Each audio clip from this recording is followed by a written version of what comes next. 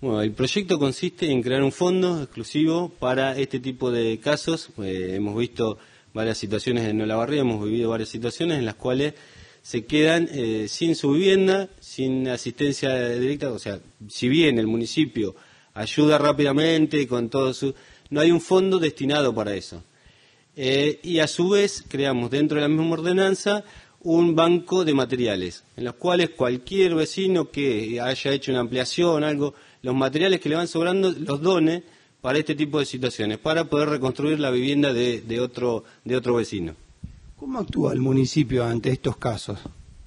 Ante estos casos actúa bajo desarrollo social, que creo que es la, oficina que le corresponde la asistencia más que nada inmediata, y obviamente defensa civil, que es la que lo ayuda en los casos de, emergencia, en, el caso de catástrofe. Eh, actúa rápido, sabemos que actúa rápido, pero hoy no cuenta con un fondo específico, que es lo que nosotros planteamos. Un fondo destinado a este caso. ¿Por qué? Porque hoy eh, la falencia que por ahí vemos es la recuperación de la vivienda, más que nada en los casos de destrucción total.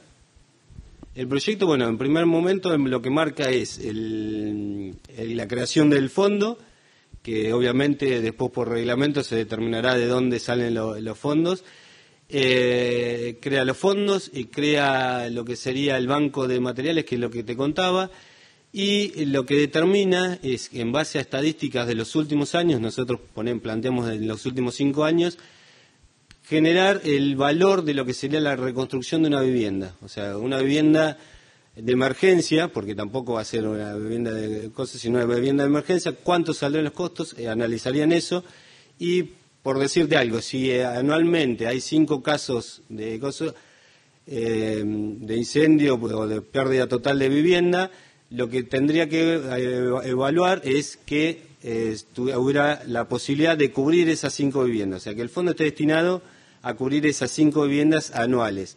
Obviamente va a haber años que va a haber menos, va a haber años que va a haber más y la idea es que ese fondo se mantenga y se vaya actualizando en base a las estadísticas de los últimos cinco años, como te decía. ¿Por qué el proyecto no contempla eh, de dónde saldrían los fondos? No, porque esto creo que es una potestad del Ejecutivo y darle la herramienta para que el Ejecutivo diga, mira, conviene sacarlo de acá, conviene de este, otro lugar.